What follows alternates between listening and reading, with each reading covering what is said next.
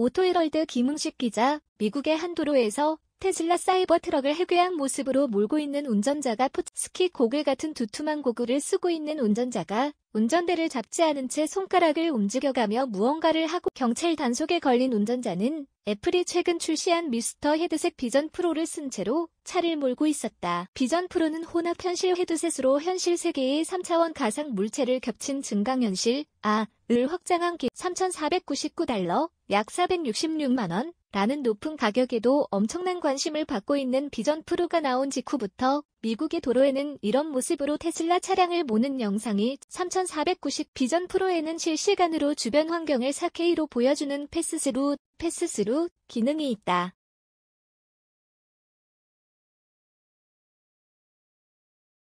비전 프로에는 실 비전 프로를 쓰고 운전이 가능한 것도 이 때문이다. 운전자는 가상 화면에 의지해 주변 상황을 인식하고 돌발 상황에 대응할 수 있다고 하지만 휴대전화를 사용하는 것 이상으로 위험할 수 있다는 것이 전문가의 지적이다. 비전 프로의 패스스루는 실제 상황에서 약 12ms 이상 지연 전달 빠른 속도로 달리는 자동차는 1000분의 1초로도 사고의 경중이 달라질 수 있다는 점에서 비전 프로의 영상에 의지해 차량을 운전하는 것은 자살 행위와 다르지 않다. 이런 상황에서 비전 프로를 착용하고 안전운전을 지원하는 수준에 불과한 테슬라의 레벨리 오토파일럿을 이용하는 것은 본인은 물론 주변에 심각한 위협이 교통안전기관 관계자는 휴대전화 통화 이상으로 매우 위험한 행동이다라며 국내에서 이런 멍청한 운전자가 나오지 않도록 관련법을 살피고 미리 대응할 필요가 있다라고